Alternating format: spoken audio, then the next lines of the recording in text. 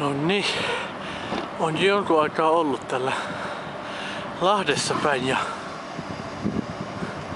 ja, ja tällä junalla lähden tonne sinne Riihimäen suuntaan ja sit siellä vaihan mikä lähtee järven päähän sitten, että keljuttaa kyllä vähän tää junan myöhässä tuleminen. Ja tälleen, että mun piti olla jo vartili kuusi järven päässä ja mä oon nyt sitten vasta vartili seitsemän, eli tuntia myöhemmin järven päässä.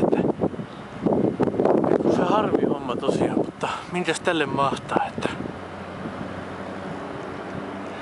Ehkä tässä on taustalla tosiaan Lahden kaupunkia täällä ja sitten tuolla on, tässä on tosiaan siis Lahden rautatieasema. Että sellaista. Eli tälleen, mutta kohta lähtee tosiaan tuo mun juna, eli se lähtisi noin 6 yli 6, eli jatketaanpa harjoituksia.